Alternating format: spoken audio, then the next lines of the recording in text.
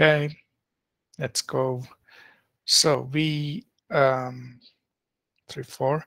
So we have to read Hebrews chapter 11, verses five and six. We're just going through Hebrews 11, just uh, want us to get a real feel of uh, the fact that um, people in the Old Testament also walked by faith in God, and you know the, the chapter 11 just highlights different ones. So let's read it, please, verse 5 and 6 of Hebrews 11. Somebody could read that for us. Verse 5 By faith, Enoch was taken away so that he did not see death, and was not found, because God had taken him. For before he was taken, he had this testimony that he pleased God. Verse 6 But without faith, it is impossible to please him. For he who comes to God must believe that he is, and that he is a rewarder of those who diligently seek him. Hmm, thank you. So the next person, so, you know, literally, uh, the writer of Hebrews is, uh, you know, starting from the very beginning, Abel, and that he's, you know, is going one after the other and saying, hey, right from then, people were people, people walked with faith in God. So he's talking about Enoch, and he says, you know, Enoch by faith, he was taken up, uh, taken away, that he didn't die. Now, it doesn't mean that he used his faith to go to heaven. But what it means is, in his day, Enoch walked with such faith in God that he pleased God. The end of that verse. He had this testimony that he pleased God. So e- Enoch walked in such a manner that he so pleased God. By Enoch, by faith, walked in such a manner that he so pleased God that God decided to just take him. Right? And then he goes on into verse 6 and tells us, tell, teaches us that it is faith that pleases God. Right? He's already mentioned that in verse 2 because he said, Look, it's by faith you get a good report from God. But he's now bringing that same truth out in this context of pleasing God. So Enoch, by faith, he walked in such a way he pleased God. So did people in the Old Testament please God? Yeah, they they pleased God. How do they please God? By the works? No, by faith. By faith in God, they pleased. And of course, faith in God then uh, uh enabled them to live a life that uh, pleased God, and they were caught up. Enoch was caught up. Uh, verse 6, it says, So he's saying, understand this, that without faith, it's impossible to please God. I mean, there's no, or you can put it another way, there's no other way to please God. No other way.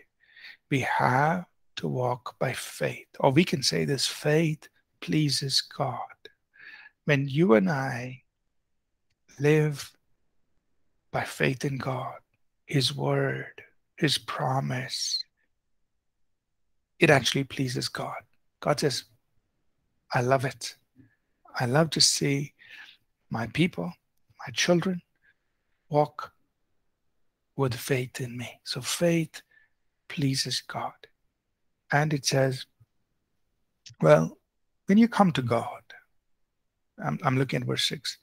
When you come to God, you must believe that He is. You must have faith that He exists. So, how do you know that God exists? I have faith. Faith is the conviction of things not seen. And my faith says God is, God exists. Now, is there tangible proof to the existence of God? Yes. The first big tangible proof is all of creation. Uh, Romans chapter 1, it says, you know, the invisible attributes of God are revealed to us in creation so that we are without excuse. Because nobody can say, I didn't know God was there. God says, hello, all of creation is a big evidence that I am here. And all my invisible attributes are revealed in creation. For, for instance, somebody might ask, why is there such a big universe? Because the universe is expressing this attribute of God, that God is infinite. So when he creates something, he has to create something that expresses who he is. He's infinite. So that's why the universe is so big. It's infinite. We don't even know. You know what's beyond the universe. There could be other universes. We don't. So it's infinite. Why? Because God is infinite. Why there's so many billions and billions and billions of stars? Because God is so big, right? So the invisible attributes of God are revealed in his creation. So he says here, Hebrews 11, 6, when we come to God first, we believe that he exists. I know God is because I believe, I believe, I have faith, faith that God exists. Secondly, he says you must also believe that he rewards those who diligently seek him. That means the time, the energy, the effort that you are making to seek him is not wasted because you believe, you and I believe that God rewards those who diligently seek him. So when you are diligently seeking him, what does it mean to be diligent? It means to be consistently consistent in seeking him. That means you don't just seek him one day, but diligence is expressed through consistency. But on the second day and the third day and the fourth week and the fifth week, you're constantly, you're diligently seeking God. You're earnestly, consistently seeking God. Why do you do it? Because you're convinced, you have faith that He will reward those who diligently seek Him. So our faith, our faith helps us to understand this that we are pleasing God when we walk in faith. Secondly, we have faith that God exists.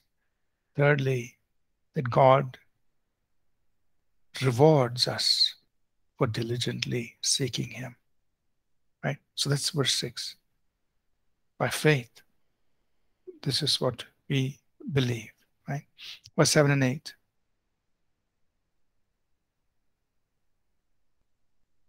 Someone else? By faith, Noah, being divinely warned of things not yet seen, moved with godly fear, prepared an ark for the saving of his household, by which he condemned the world and became heir of the righteousness which is according to faith. Verse 8 mm. By faith, Abraham obeyed when he was called to go out to the place which he would receive as an inheritance, and as he went out, not knowing where he was going. Yeah. So Noah was another hero of faith.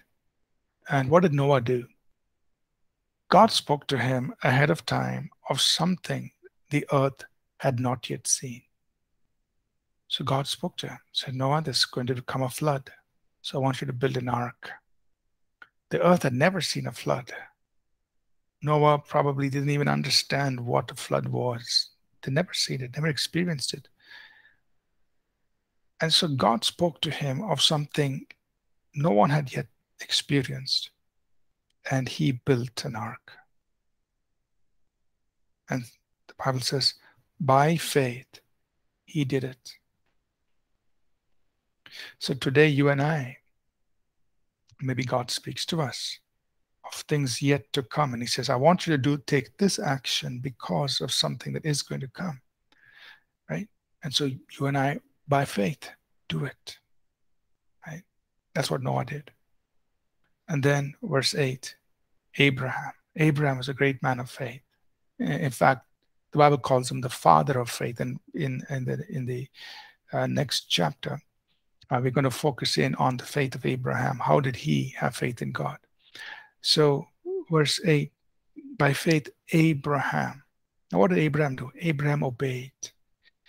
And uh, and what, what do we know about Abraham's faith? The last part of verse 8 says, He went out not knowing where he was going. And just think about that. Abraham went out not knowing where he was going. So he obeyed, but he didn't have all the answers. And that's faith. So faith obeys God, even when you don't have all the answers. Because he didn't know where he was going. He God just said, Abraham, get up, go to a land that I will show you. So he got up and it was a daily walk of faith.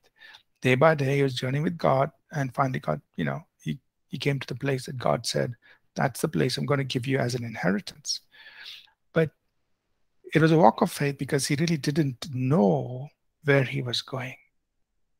So, can you and I today obey God even when we don't have all the answers, even when we don't know everything about the future, but you obey God?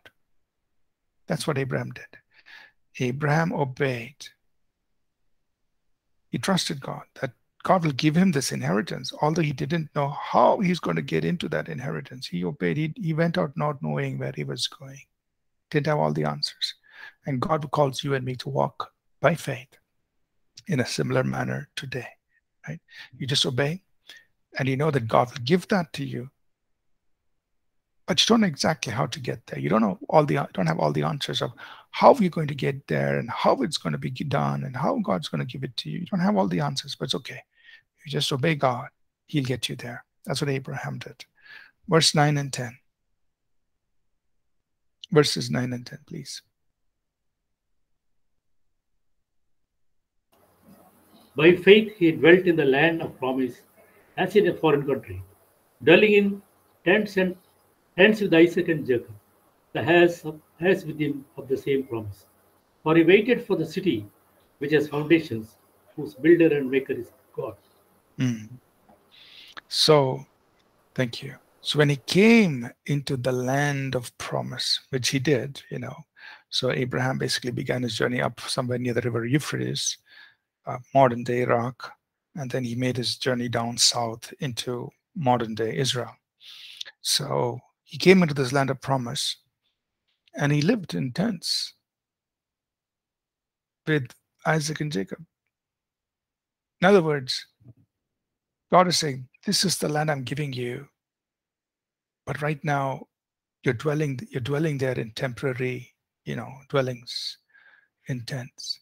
God said, This land I'm giving you. So you're tasting of it, but uh, at the moment, everything seems temporary.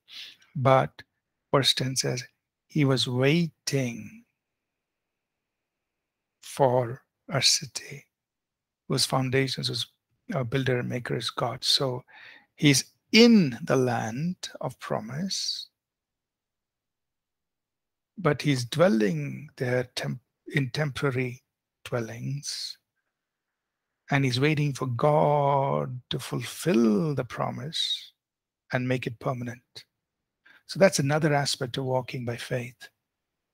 That is, you're journeying, you're coming into the promise, but then you're going through what may be temporary while you're waiting for what is permanent. The, the finality of everything. So Abraham did that by faith. So God, okay, I'm here. I know I'm dwelling in tents, but I know this land you will give me a city that you have established. You will give me a permanent dwelling here. Right? You will do it.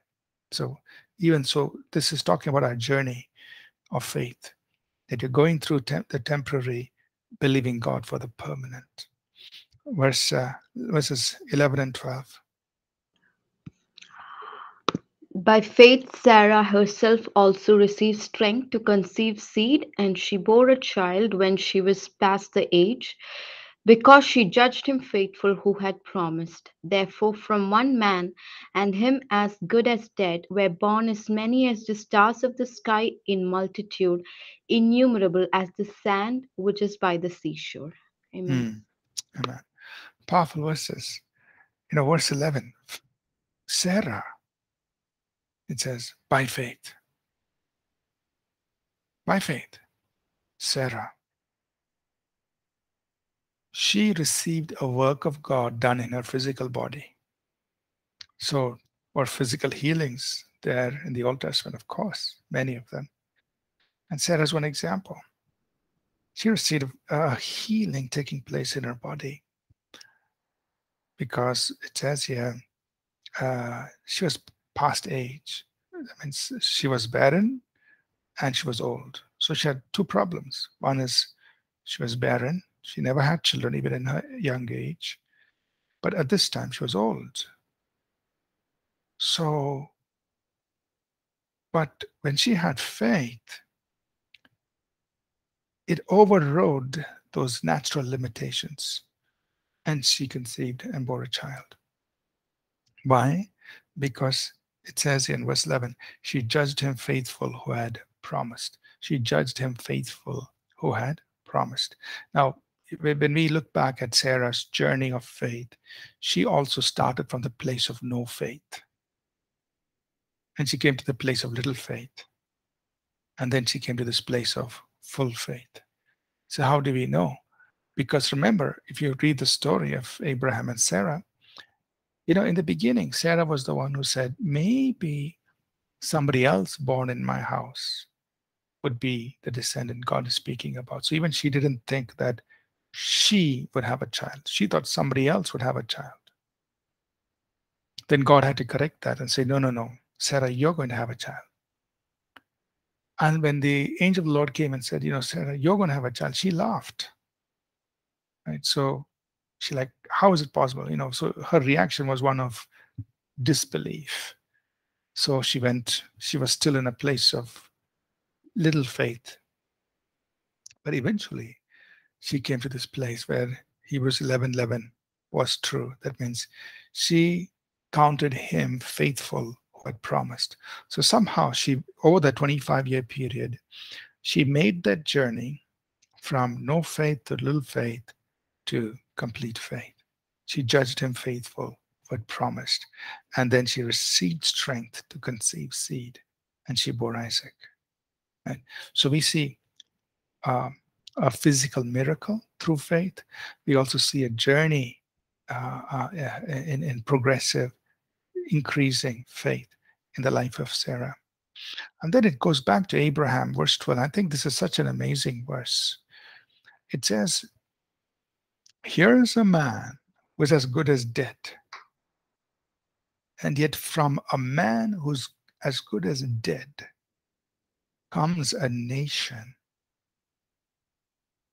as new with like the stars in the sky and like the sand on the seashore.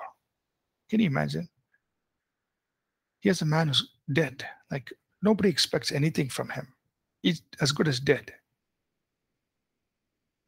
There's no life. And yet, from such a man, something impossible comes out. Descendants like the stars and like the sand on the seashore. How? by faith.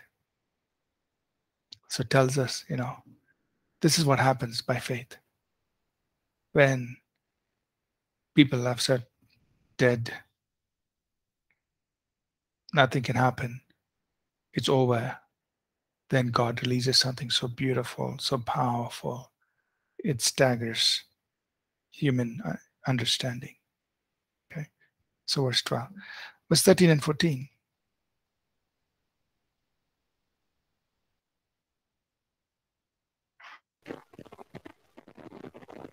All these people were still living by faith when they died. They didn't receive the king's promise. They only saw them and welcomed them from a distance, admitting that they were foreigners and strangers on earth. People who say such things so that they are looking for a country of their own. Mm. So the writer of Hebrews says, you know, these people had faith even for their future. God had given them promise. They were journeying into it, but they, you know, they didn't come into the fulfillment of everything. Because he, he will explain this later on towards the end of this chapter that God wanted all of us to enjoy the fulfillment together. Okay. So they saw things happen in their lifetime. They saw the work of God. Um, they saw certain things fulfilled but there were still things that they saw afar off, which they didn't experience. And they died without those things. So you and I can also imagine, even in our journey of faith, for instance, all of us expect to be in heaven. All of us expect that we will have a mansion in heaven. All of us expect that one day uh, we will rule and reign with Jesus uh, in, in the millennium. All of us believe that there will be new heavens and the new earth. But today, we're only seeing them from afar. But yet we embrace them as though they are real. That's what these people did. They embraced and confessed them. So you and I embrace these things. We confess it. Yes, I believe there's a mansion for me in heaven. Yes, I believe I'm going to see Jesus. Yes, I believe, you know, we embrace and confess these things. But yet, we know we will die should the Lord tarry. We will die. And we're not going to taste those things here. The same thing with these Old Testament saints. They experienced certain things in their lifetime which God wanted them to fulfill. But they were also looking at things into the future, which they embraced and confessed, but they didn't experience. Same thing with you and me today. In our journey of faith, we embrace and we confess things that we believe that are out there. And we, we, we're going to die we may never experience it. Uh, we will not experience it in this side of life. But Hebrews 11, when it closes, it says, together, the Old Testament saints, New Testament saints, together we will enjoy these things. A city whose builder and maker is God. Revelation chapter 22. That's the heavenly Jerusalem. Together, the Old Testament saints, New Testament saints, together will experience that. Okay. So it's teaching us here in, in verses 13 and 14 that faith enables us to walk today, uh, our life on earth, embracing and confessing things about our life in the future. Just like them, so do we. Okay. Verse 15 and 16 verses 15 and 16, please. Uh, verse 15 And truly, if they had called to mind that country from which they had come out, they would have had opportunity to, opportunity to return. But now they desire a better, that is, a heavenly country. Therefore, God is not ashamed to be called their God, for he has prepared a city for them. Mm. Very interesting you know, I like how the end of verse six, uh, the verse uh, verse sixteen ends. God, therefore, therefore, God is not ashamed to be called their God. Isn't, isn't that interesting? Therefore, God is not ashamed to be called their God. God is saying, like, hey, I'm really happy if you if you say I am your God. Therefore, meaning on what basis? Verse 15 and 16 tells us that these were people who were not looking at their earthly things. But it says in verse 16, they were desiring a heavenly thing. That means they lived their life with their eyes not on the temporal, but on the eternal. They lived their life on earth as pilgrims, people just passing by. They lived their life on earth holding to things on earth very lightly because their eyes and focus was on the heavenly. And to such people, God says, I am not ashamed to be called their God. Because it is true, I have prepared a city for you. That's the heavenly, the eternal, the unseen. You all with me so far? You're understanding these things? So we are learning about you know, uh, the faith that pleases God, Hebrews chapter 11.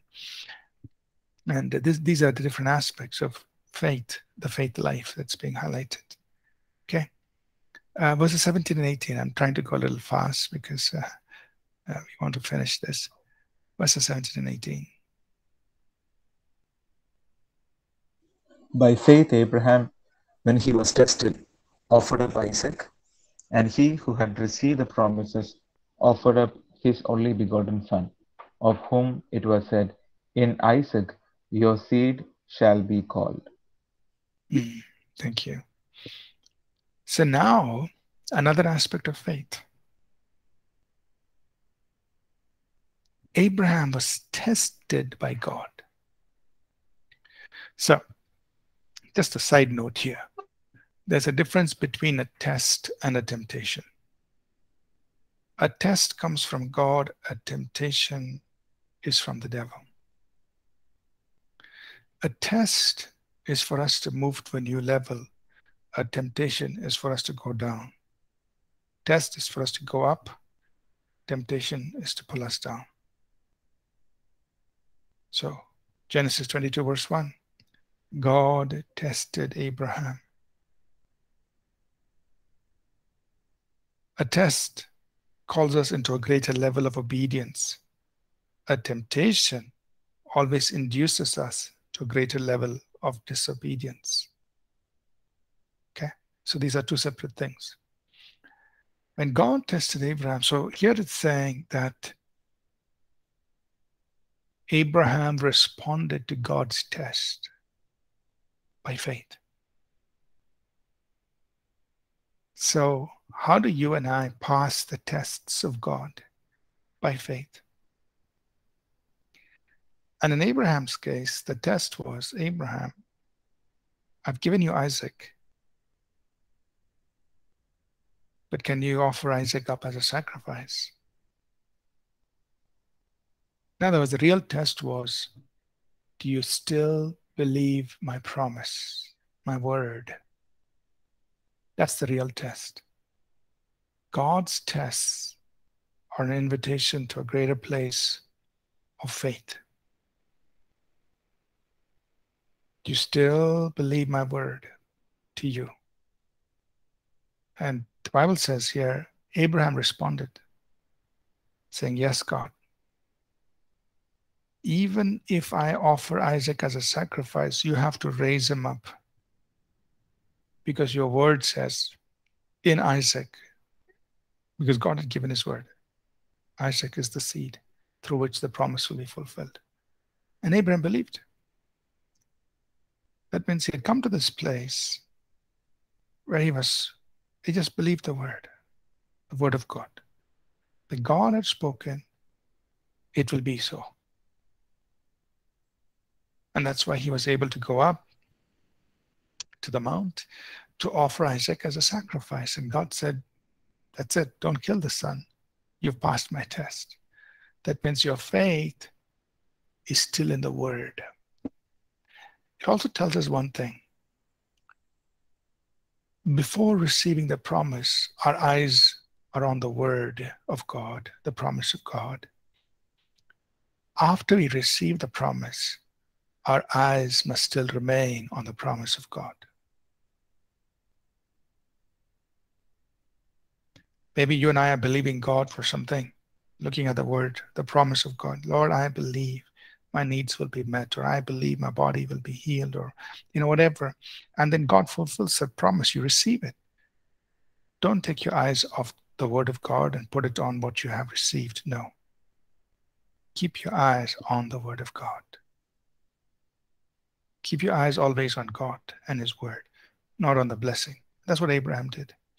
And that's why he was willing to let go of the blessing because he knew if he let go of the blessing, God still has to bring the blessing because God is faithful to his word. Okay. Verses 19 and 20, please.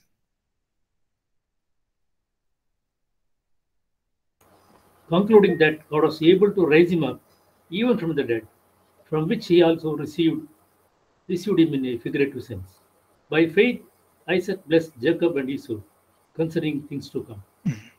So verse 19 is actually the continuation of Abraham's faith, that uh, when Abraham obeyed God, uh, his, he was believing that God would raise him up from the dead. Verse 20 is talking about Isaac, that Isaac could bless Jacob and Esau concerning things to come. So by faith, basically by faith, Isaac, uh, Jake, Isaac prophesied over Jacob and Esau. So if you want to just put verse 20 very simply, by faith, Isaac prophesied over his two sons. That means he spoke of things that were still in the future. Verses 21 and 22. By faith, Jacob, when he was dying, blessed each of the sons of Joseph and worshipped, leaning on the top of his staff. By faith, Joseph, when he was dying, made mention of the departure of the children of Israel and gave instructions concerning his bones. Hmm. So you see some similarity between Isaac, Jacob, and Joseph. All three of them, by faith, spoke of things in the future. They believed it, and they spoke of it. So Isaac blessed Jacob and Esau on concerning the future. Jacob, he blessed all the sons of Joseph, speaking of their future, declaring their God's uh, plan for their future. Same thing with Joseph. He was dying, but he spoke. Hey, you, you know, he was in Egypt, but he said, God's going to take you back to your land, to the land, take my bones and bury me there. Right. So he's all he's speaking of something out in the future. So by faith, uh, you know, we are speaking forth prophetically. We are speaking forth the purposes of God. Um, verses 23 and 24, please. By faith, Moses' parents hid him for three months after he was born, because they saw he was no ordinary child and they were not afraid of the king's edict. 24. By faith, Moses, when he had grown up, refused to be known as the son of Pharaoh's daughter. Thank you. Let's just go on and read um, um, the next two verses. We'll just read this full passage concerning uh, Moses. Uh, verses 25 and 26. Somebody else?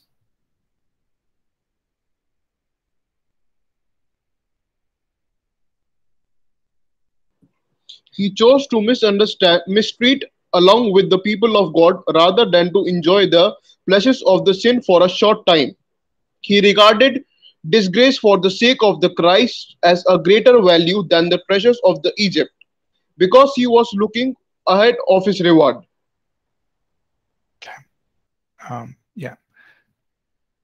Okay. So uh, let's comment on this. So Moses, uh, here we read about Moses' parents again, they acted in the present, believing God for the future, right? It says uh, they hid him. They were not afraid of the king's command. Why? They saw he was a beautiful child. I mean, they saw something in him. They said, okay, we're not going to let go of this child. We don't want to you know, end this child's life. So that was an act of faith on the part of Moses' parents, right? And then about Moses himself, that verse 24, 25, uh, and 26, that though he, you know, he grew up in uh, the house of Pharaoh, he had all of these things. He let go of all of that to step into what he believed was God's call. Right? So he he believed that God had called him to be a deliverer of the people of Israel in his heart. So he let go of all the riches of Egypt and he said, I'm going to step in there to be a deliverer of my people. Uh, so that is really expressing, you know, that he said, I don't want to enjoy the pleasures of Egypt. He could have stayed there and maybe he could have become the next Pharaoh uh, uh, and ruling over Egypt. He said, No, I'm letting all of that go. I'm going to go out and I'm going to identify with God's people and uh, you know, uh, move into the call of God. So that's what uh, uh Moses did. In that's verses 25 and 26. Um, he he looked for the reward. He's looking for a future reward. So that's what God also leads us to do today. That uh, you know, there are times God calls us to make these kinds of choices, and we do that. We let go of things that we could enjoy in order to pursue the call of God on our lives and to fulfill what God wants us to do. Right? Let's uh, look at verses 27 and 20, uh, 27 to 29, please. By faith he forsook Egypt, not fearing the wrath of the king, for he endured as seeing him who is invisible. By faith he kept the Passover and the sprinkling of blood, lest he who destroyed the firstborn should touch them. And one verse 29 also. By faith they passed through the Red Sea as by dry land, whereas the Egyptians, attempting to do so, were drowned. Mm. So each of these, which we, you know, we read in the Old Testament, were acts of faith. So by faith, Moses stepped out of Egypt. Why did he do that? Because it says he was seeing him who was invisible. Right? So he was not afraid. So that's basically saying he's stepping out of Egypt, going out of Egypt was an act of faith. And the reason he did it is because his eyes was on the invisible God. By faith, they even kept the Passover. So God had spoken, do this. But for them to do that was an act of faith. So it says they kept the Passover by faith, and you know God protected them. By faith, they crossed the Red Sea.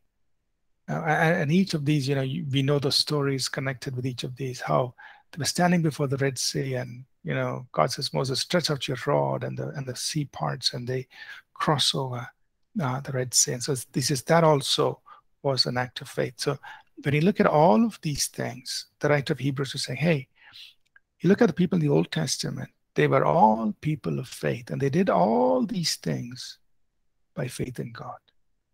So they were people of faith. Right? Let's just uh, quickly try to finish up. Uh, let's read uh, verses 30 to 34, please. 30 to 34, somebody.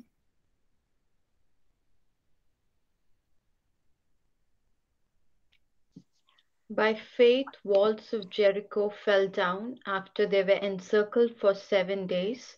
By faith, the harlot Rahab did not perish with those who did not believe when she had received the spice with peace.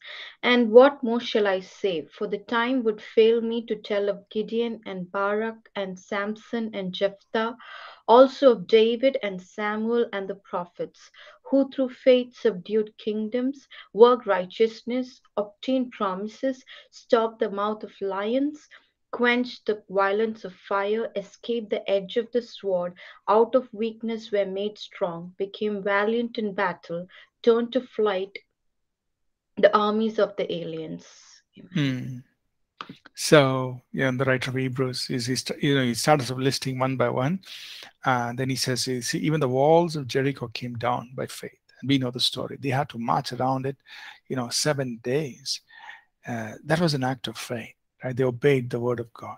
Joshua just obeyed what the angel of the Lord told him, and they, you know, it was an act of faith, and they saw the result. Uh, and then he begins to mention different people, Rahab the harlot, you know, how she would receive these spies because she believed God would protect her, even though she was, you know, a Gentile.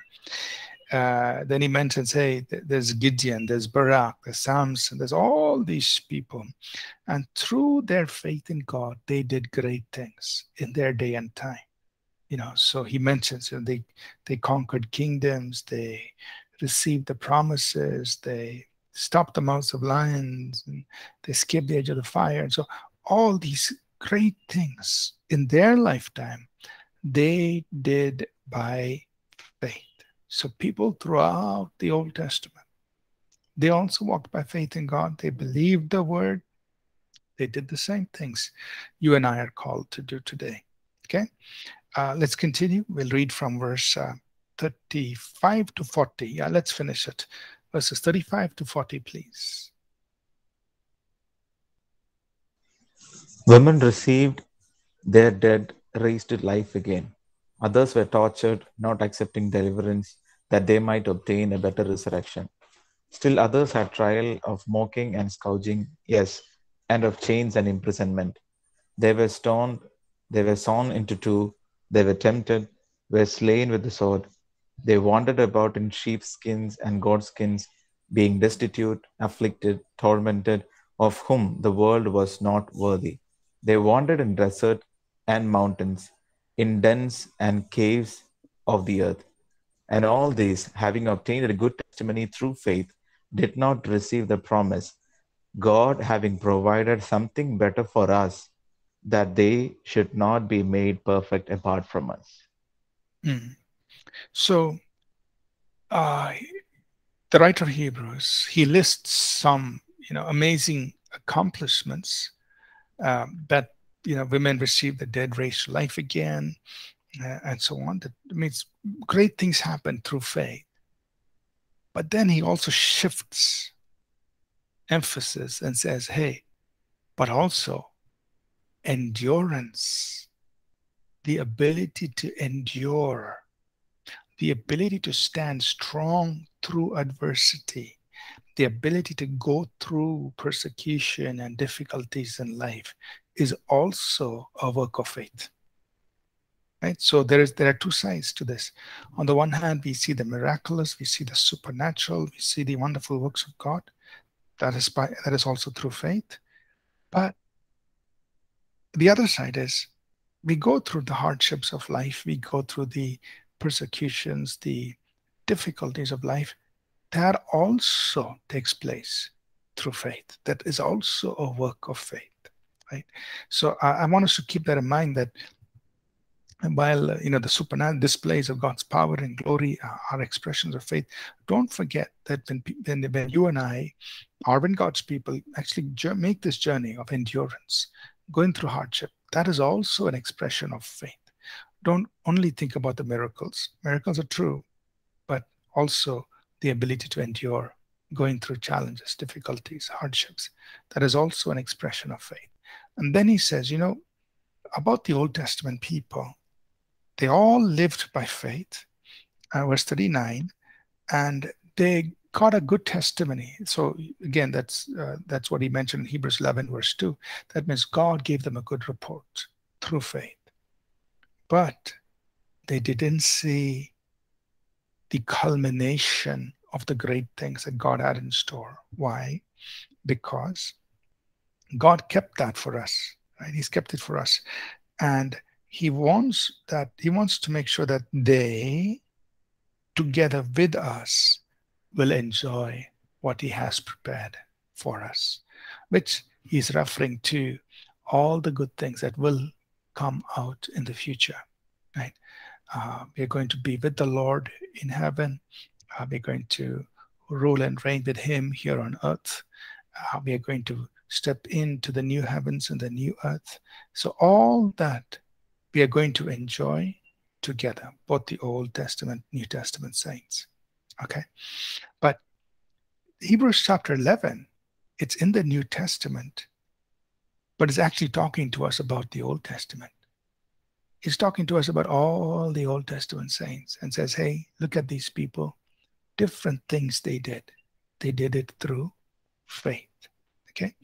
Now, I'm just going to quickly uh, share my notes. I know we have only a few more minutes, but uh, in this in this PDF, uh, I have already mentioned it as we went through Hebrews 11, but I'll just highlight those things.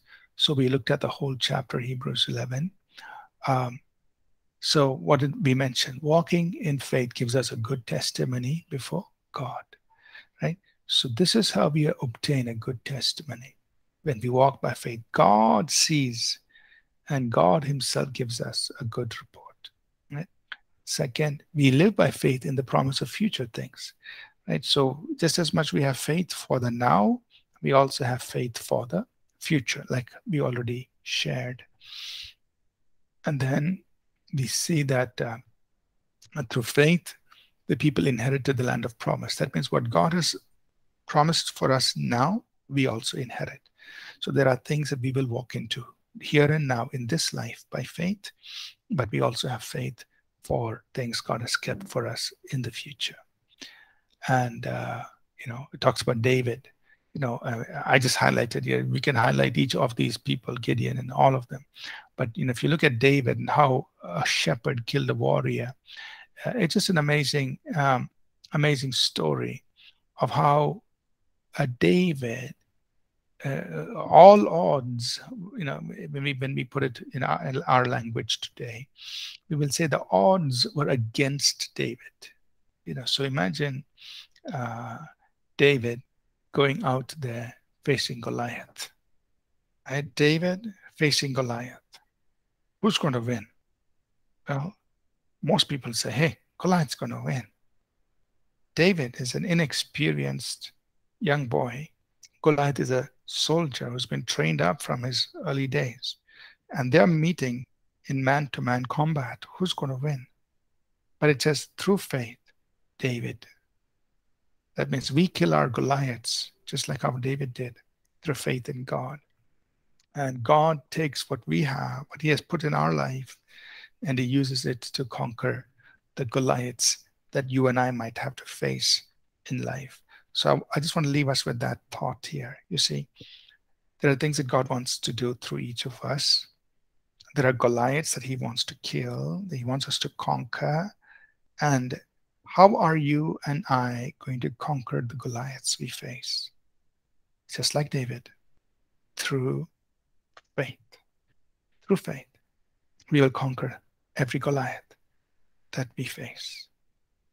So, what we're going to learn in this course is going to help you and me, like David, conquer Goliaths and do great exploits for the kingdom of God.